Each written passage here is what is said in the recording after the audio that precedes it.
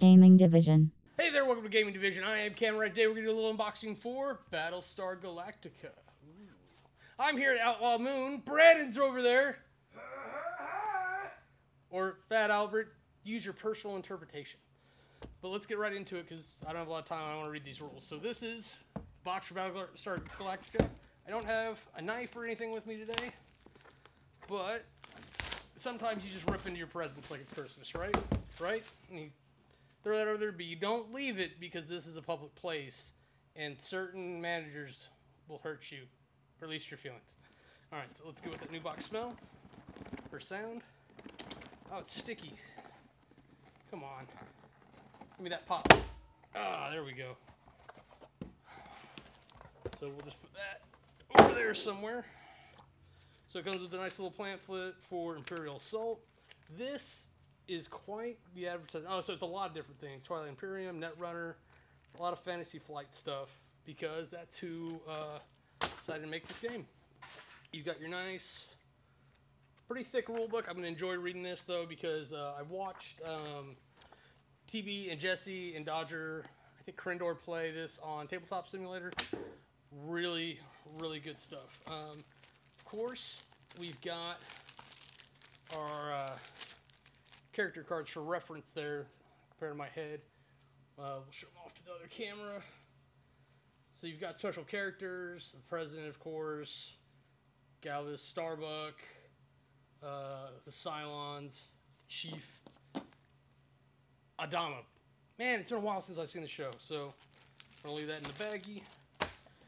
Um, of course, because it's Fantasy Flight and a decent game. We've got this nice quality cardboard in here. Get that out of the bag.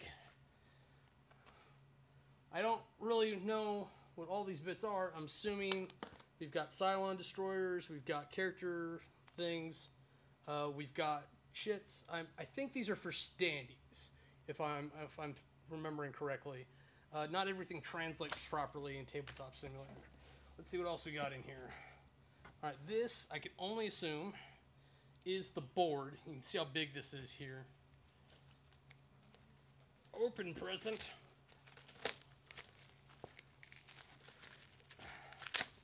And then we put it with the rest of our trash that we are going to digitally clean up. Not diligently, not digitally. Words are hard. All right, so I remember this being bigger for some reason, but that's the board. It's four game tiles or whatever. Um, mostly, it's in a couple different sections. there. It's the ship. Um, trying to get no glare. We are in a well-lit store, so that's hard. There we go.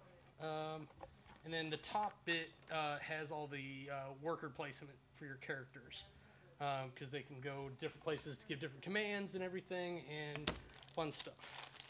So, for people who like minis and whatnot, or spaceships or whatever, I'm always happy with just little discs, but they went the extra mile.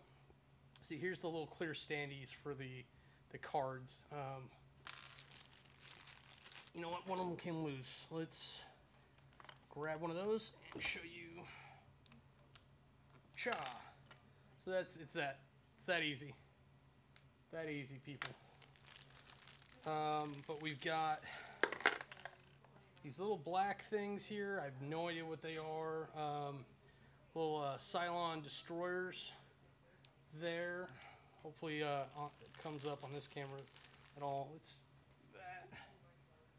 that. Um, and then they've got the, the slightly bigger ships as well.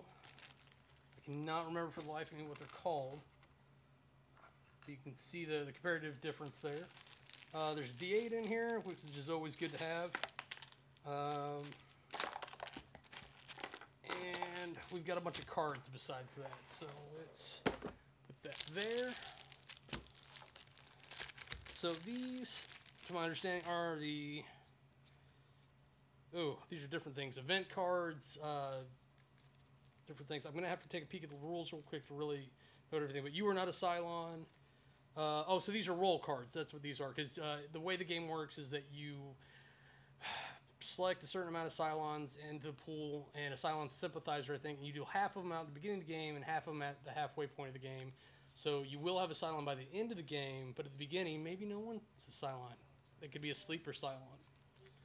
Um,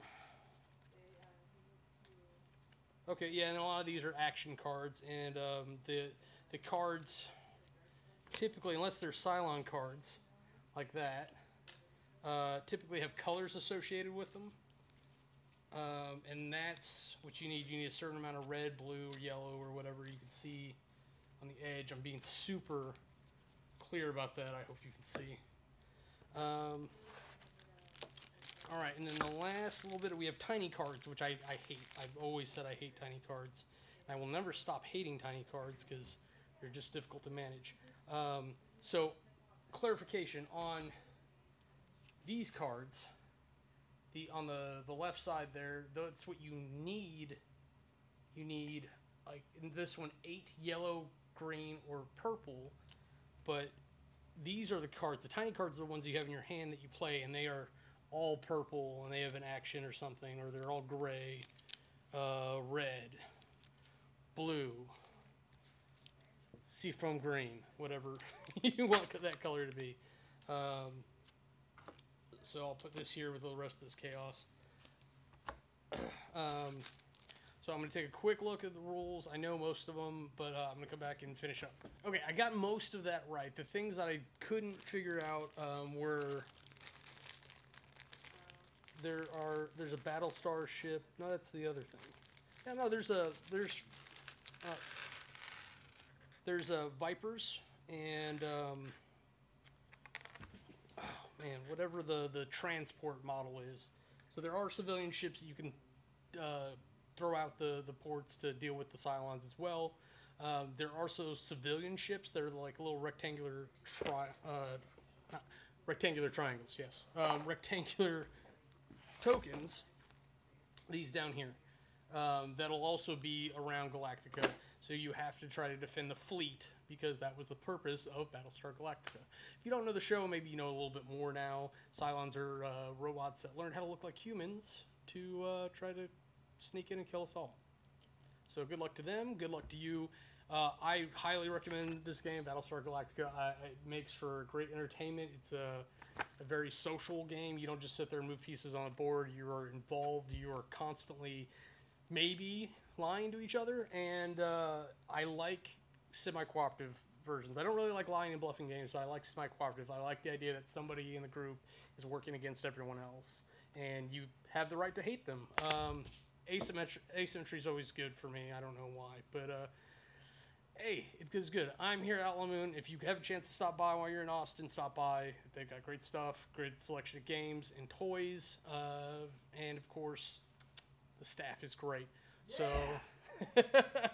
Brandon uh, looks a little busy over there. So I'm gonna go see what's up, and uh, I am Kamurai. Until next time, that's game over.